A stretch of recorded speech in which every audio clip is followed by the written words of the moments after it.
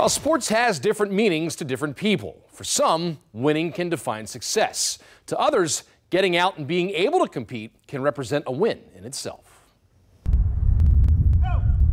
On a windy, late fall afternoon, the York track and field team is pushing through a workout.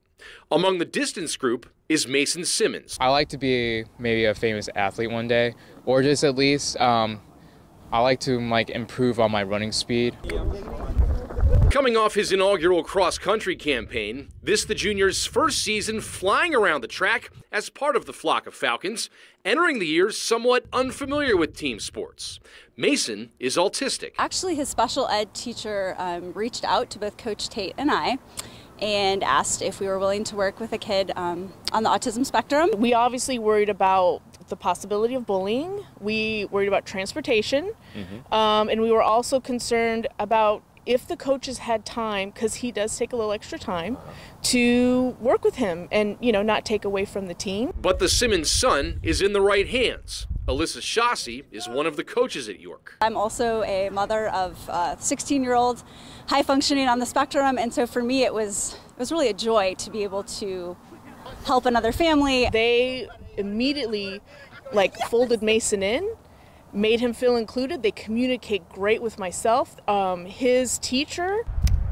Now, Mason part of a team, knocking out laps, racking up miles, chasing down goals. I think there's definitely stress relief for him because he needs he has to move his body.